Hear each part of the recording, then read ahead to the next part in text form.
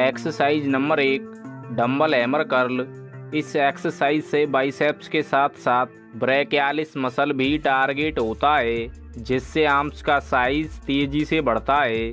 इसे परफॉर्म करने के लिए दोनों हाथों में डम्बल को न्यूट्रल ग्रिप में पकड़कर खड़े हो जाएँ और बॉडी को स्टेबल रखते हुए ऑल्टरनेटिंग हैंड से डम्बल को ऊपर की ओर लाकर कर्ल करें।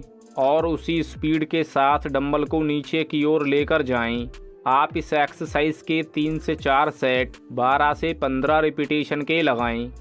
एक्सरसाइज नंबर दो, बारवल कर्ल यह बाइसेप्स के लिए बहुत अच्छी एक्सरसाइज है इससे बाइसेप्स का साइज़ तेज़ी से ग्रो होता है इसे परफॉर्म करने के लिए बारवल को अपने शोल्डर की चौड़ाई से थोड़ा सा बाहर से पकड़कर हाथों को आगे की ओर करते हुए बारवल को शोल्डर लेवल तक ऊपर लाएँ और धीरे धीरे उसी फॉर्म के साथ बारवल को नीचे लेकर आएँ।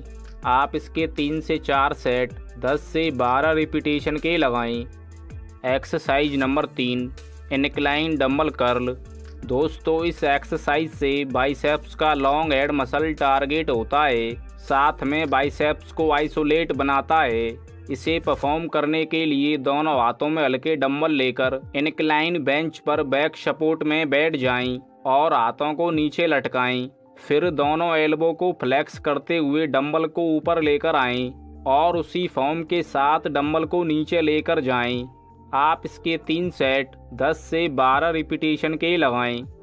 एक्सरसाइज नंबर चार ईजी बार स्पाइडर कर्ल इससे बाइसेप्स ब्राकी और ब्रैकियालिस मसल टारगेट होता है। इसे करने के लिए निकलाइन बेंच पर चेस्ट के सपोर्ट में लेट जाएँ, जैसा वीडियो में दिखाया है। ईजी बार को अंडर हैंड ग्रिप के साथ पकड़ लें और हाथों को नीचे लटका लें। अपनी अपर आर्म्स को स्टेबल रखते हुए ईजी बार को अपने शोल्डर की ओर ऊपर उठाएँ तो बाइसेप्स मसल को स्क्वीज करें, फिर उसी फॉर्म के साथ ईजी बार को नीचे लेकर जाएँ तो बाइसेप्स मसल को स्ट्रेच करें। लाइट वेट का यूज़ करते हुए आप इसके तीन से चार सेट बारह से पंद्रह रिपीटेशन के लगाएँ। एक्सरसाइज नंबर पाँच केबल बाइसेप कर्ल इसे करने के लिए केबल मशीन के लोवेस्ट लॉक पर स्ट्रेट बार या केबल रोप हैंडल को अटैच करके मशीन के सामने फेस करके खड़े हो जाएँ और दोनों हाथों से हैंडल को पकड़ लें। अपनी बॉडी को स्टेबल और हाथों को आगे रखते हुए जब आप हैंडल को अपने शोल्डर की ओर ऊपर उठाएँ तो बाइसेप्स मसल को स्क्वीज करें, फिर उसी फॉर्म के साथ हैंडल को नीचे लेकर आएँ।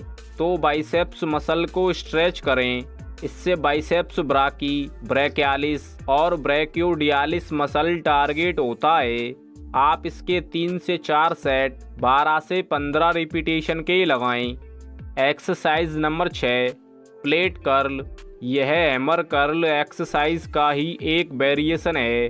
इससे बाइसेप्स ब्राकी और फोराम मसल टारगेट होता है। इसे करने के लिए दोनों हाथों से प्लेट को पकड़ लें। अपनी एल्बो को बॉडी के क्लोज और हाथों को आगे रखते हुए प्लेट को अपने शोल्डर की ओर ऊपर उठाएँ। तो एक सेकंड होल्ड करें। बाइसेप्स और फोराम मसल को स्क्वीज करें। फिर उसी फॉर्म के साथ प्लेट को नीचे लेकर आएँ। इस मोमेंटम के दौरान आप अपनी बॉडी को स्टेबल रखें। कंट्रोल वेट के साथ आप इसके तीन से चार सेट, दस से पंद्रह रिपीटेशन के लगाएँ। एक्सरसाइज नंबर सात डम्बल जॉटमैन कर्ल।